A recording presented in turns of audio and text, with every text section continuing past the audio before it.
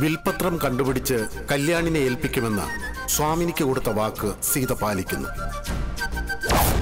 എന്താ ചെയ്തൊക്കെ? മുത്തശ്ശൻ എന്റെ പേരിൽ ഇങ്ങനൊരു വിൽപത്രം എഴുതി വെച്ചിരുന്നോ അച്ഛന് അതേക്കുറിച്ച് അറിയായിരുന്നോ? അച്ഛനെന്താ മറുപടി പറയാത്ത?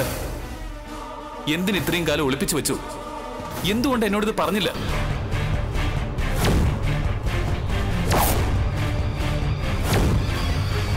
കല്യാണിന്റെ ചോദ്യങ്ങൾക്ക് മുന്നിൽ ഉത്തരം മുട്ടി രാജേശ്വരി എന്നെ വിധിയാക്കാൻ നോക്കണ്ട.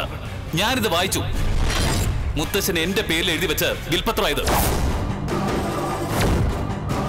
അമ്മ എന്തുകൊണ്ട് എന്നോട് ഇക്കാര്യം മറച്ചു വെച്ചു?